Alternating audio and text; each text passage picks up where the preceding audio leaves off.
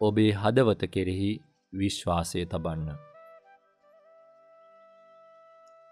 ධර්මය ප්‍රගුණ කිරීම සඳහා ක්‍රම රාශියක් ඇත. ඒවායේ අරමුණු හැඳිනගන්නෙහි නම් ඔබ නොමගට නොවැටේ.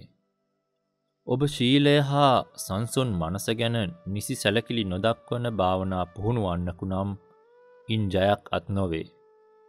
ඒ මක් නිසාද ඔබ අතීතයේ විසූ ශ්‍රේෂ්ඨ අරණ්‍ය ගුරුවරුන් අනුගමනය කළ මාර්ගය අතහැර දමා යන හෙයිනි. මේ මූලික කරුණු සම්බන්ධව නොසලකා නොසිටින්න.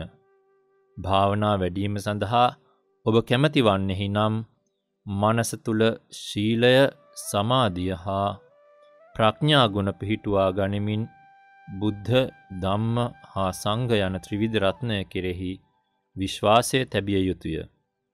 සියලුම කාර්යන් අත්හිටුවා අවංක බවින් යුතුව එයට බසින්න. නොයෙක්දේ මගින් ඔබ කලින් කල මුලාවේ හෙළෙන නමුත් ඒවා ගැන අවධානය පවතිී නම් එහි ප්‍රතිඵලය වනුයේ ඒවා ඉවතලෑම සඳහා ඔබට ඇතිවන කුසලතාවයය. එකම පරණ පුද්ගලයා එකම බොරුව පවසමින් පැමිණෙයි. එය දන්නෙහි නම් ඔහු විශ්වාස කිරීමට ඔබට උවමනා නොවෙයි. නමුත් මෙය දැන ගැනීමට මත්තෙන් කාලය දීර්ඝ වශයෙන් ගෙවී යයි. අප මුලාවට පත්කිරීම සඳහා අපේ පුරුදු සදාකල්හි වෙහෙසමින් පවතිී. මා වසර දෙකක් හෝ තුනක් පමණ කාලයක් භාවනාවේ යෙදී සිටියෙමි. එනමුත් මාගෙන විශ්වාස කිරීමට මට නොපුළුවන් විය.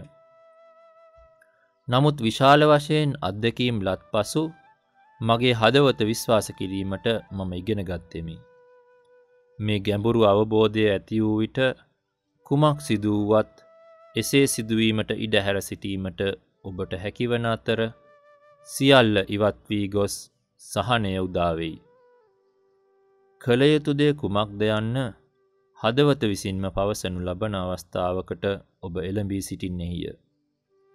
එය ඔබට නිතරම දැකීමට සලස්වන සුළුය. එය අවධානයෙන් යුක්තය.